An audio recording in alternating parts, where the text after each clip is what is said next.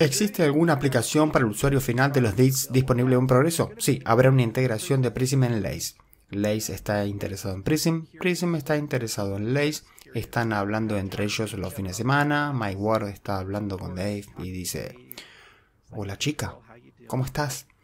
En algún momento habrá un centro de identidad ahí y esa será la primera aplicación de Prism de negocio a cliente. La cosa es que con Prism completaron la versión 1.0, cerramos el trato, hicimos muchas otras cosas a su alrededor y aprendimos una cantidad enorme de cosas de eso.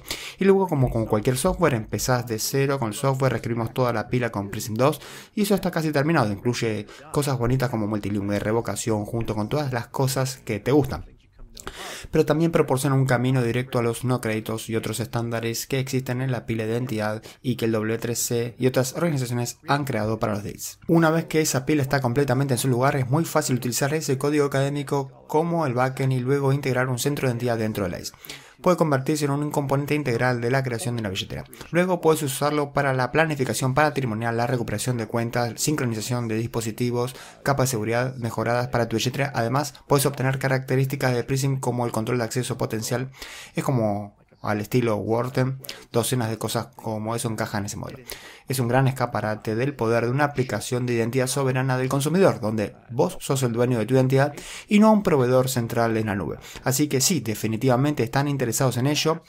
Solo que las estrellas se tienen que alinear y ambos tienen agendas muy ocupadas, están avanzando bastante rápido.